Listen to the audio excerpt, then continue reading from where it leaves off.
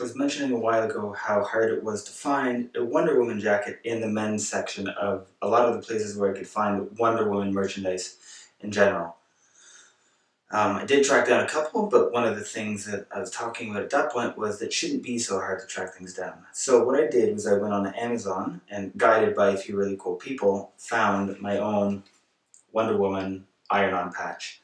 So what I'm going to do then is just make my own Wonder Woman jacket. So that I do get to walk around with my daughters with cool Wonder Woman sign on my back as well. So here we go.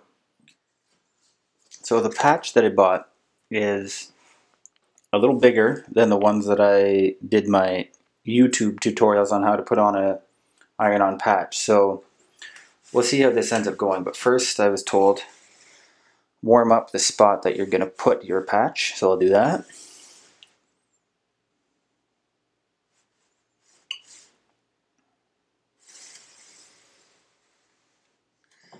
So now we need to get this in the right spot.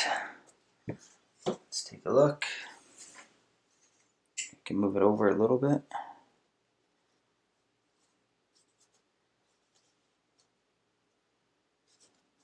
think I'll do it right like that.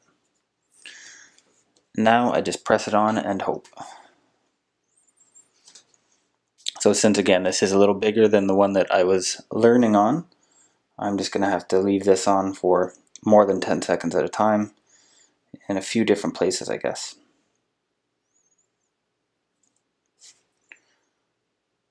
So if this doesn't work, I'm just going to sew it on because this jacket is going to look awesome.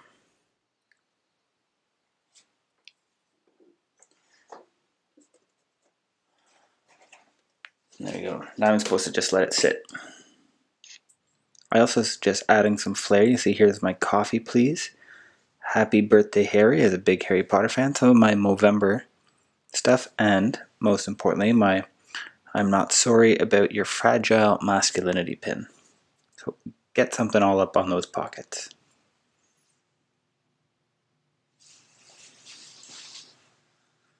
Now you've got your Wonder Woman jacket to wear wherever you want to go.